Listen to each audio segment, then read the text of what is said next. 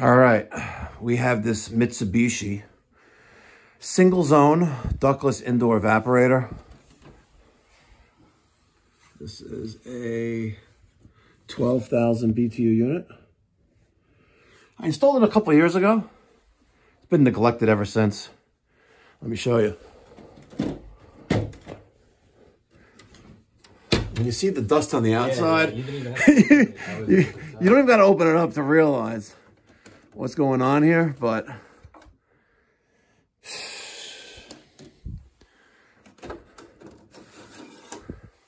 nasty.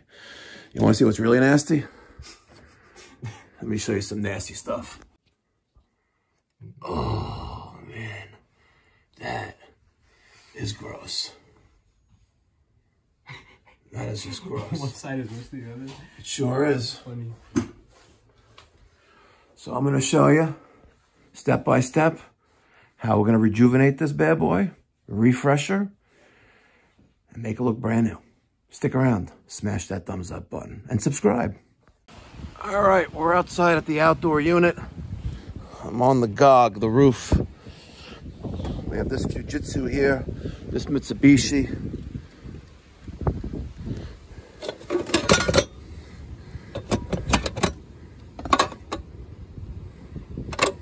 pull power. Now we can disassemble the, out, the indoor unit. Always make sure you have power removed. All right, step one, make the area accessible and easy for cleanup. I got a drop cloth down. I moved over the table that was here. And uh, we're gonna put things back exactly where they were. So those two bags were under the table. We're gonna put them exactly the way they where they were. No one's gonna know we were even here other than a nice, fresh smelling and clean ductless unit. I have the, the mini split bib kit ready to go. We're gonna go grab the pressure washer, make sure we fill it with water, and we're gonna start taking this apart. But first we're going to remove that screw that's concealing the electrical, and uh, with our voltmeter, make sure there's no power here. There's nothing there.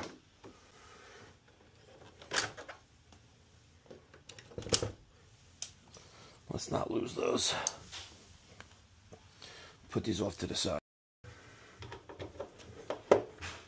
Now, your model may be slightly different for disassembly, but there's generally screws that are concealed that you're going to need to undo.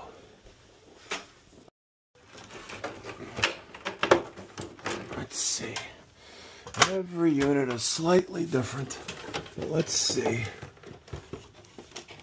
if we could get this thing off. Uh, it's like it's something on the top.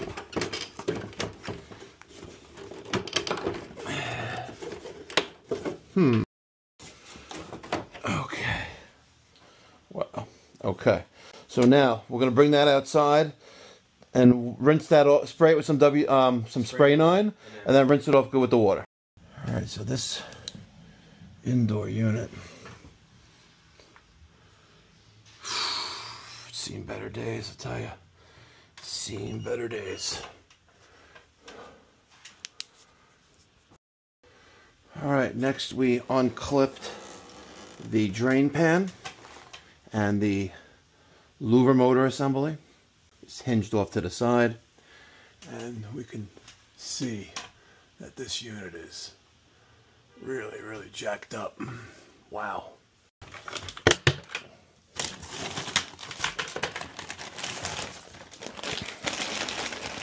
Now a good rule of thumb to the professionals out there and the DIY guys who are going to try this.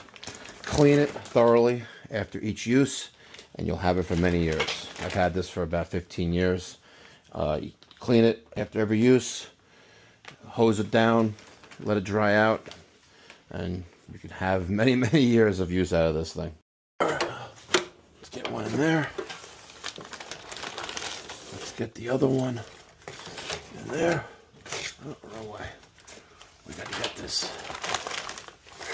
Uh, come on, baby. Gonna get you in there. There we go.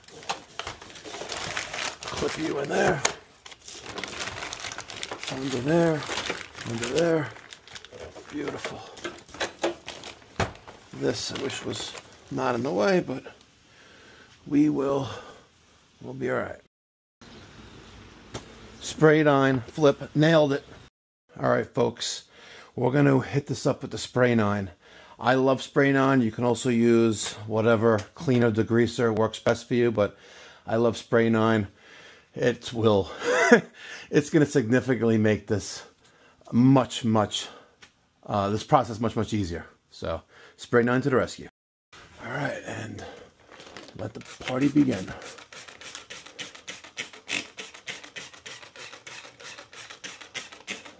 I just want to give it a good saturation on the blower wheel. And of course, the dirtier it is, the more saturated you're going to have to make this. Let me put it on spray. Let's go right there. a little bit easier to maneuver.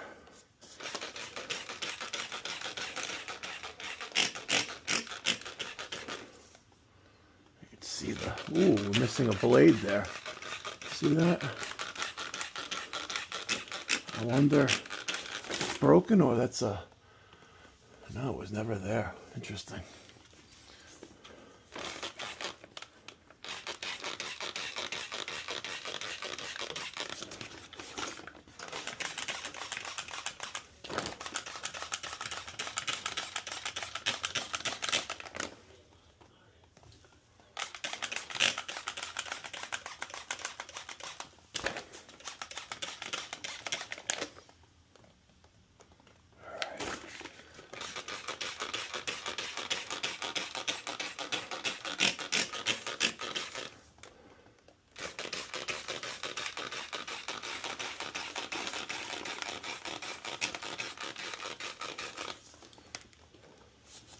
All right, looks like we are almost done with that. Perfect. We're gonna let that sit for a few minutes and then set up the pressure washer. I'm also going to use the spray nine on the evaporator coil since there is a, a good accumulation of dirt and dust on this coil. And we will pressure wash that through. All right. It's pressure washing time.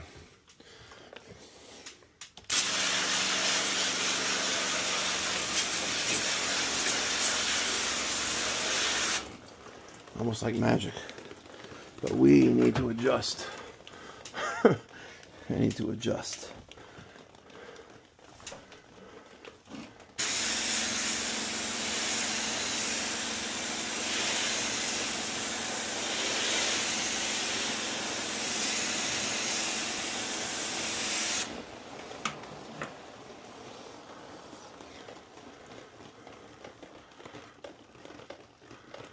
Now, I just want to show you how much we got off. Look at that. Significant amount of dirt removal already. Night and day difference. Don't you think? Look at that. Night and day difference. It's gonna get it right there. All right. Wipe it down with the damp rag. And we will put this bad boy together now. Wow. That is a night and day difference. All right, we have the drip pan back in place, the louvers and the motor assembly control hinged back in there. It was a little bit of a struggle, but I focused my attention on getting this piece in first, and then the other two snapped into place. But it took me about three or four attempts before I actually got it in. But uh, now we're in there, and let's resume the assembly process. All right, the plastic cover is nice and clean. Very nice. Derek did a great job on it. And for the most part, it's dry.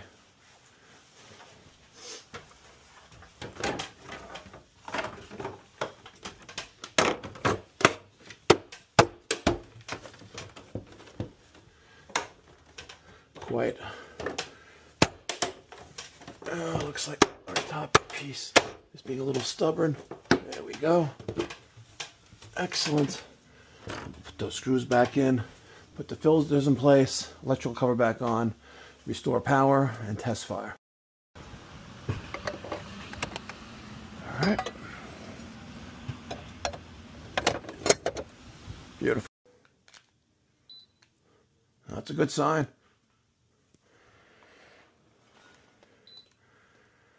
Sixty-four. Run, baby. Nice. Not too shabby. Don't forget, folks, got a ductless mini split system. Take your filters out every 30 days, rinse them off, and throw them back in. It's the first line of defense to prevent nasty buildup and all that cocky that we just removed from the blower compartment and the blower wheel. And the coil, too. Would you want to breathe that? I don't think so. Clean your filters every 30 days. And if you live in the Long Island, New York City metropolitan area and you're tired of getting bamboozled by your HVAC contractor, pick up the phone, give me a call, 516-348-6300, save time, book online at pipedoc.net. My name is Mike Dyke. It's been a pleasure to create this video for you. Informative, educational, step-by-step -step process. If you enjoyed this content, make sure you hit that thumbs up button, subscribe, and notification bell to get post notifications when I drop a video, which is generally seven days a week. Thanks for watching. Catch you in the next one. Be well. God bless. Stay safe. All right, let's just check our discharge temperature. So we're at around 51 and a half degrees. And our ambient room temperature is looks like it's going to be around 68 to 69 degrees. So we got a beautiful Delta T there. Pro tip, we're going to use some condensate pan treatment tablets. I'm using the ones by Nu-Calgon. These little green little tablets. We're going to drop it right behind the filter into the front part of the emergency, uh, the drain pan. One on one side, one on the other. And those are typically typically good for three to four months, but that's going to help neutralize the condensate and keep that drain line clear that goes outside.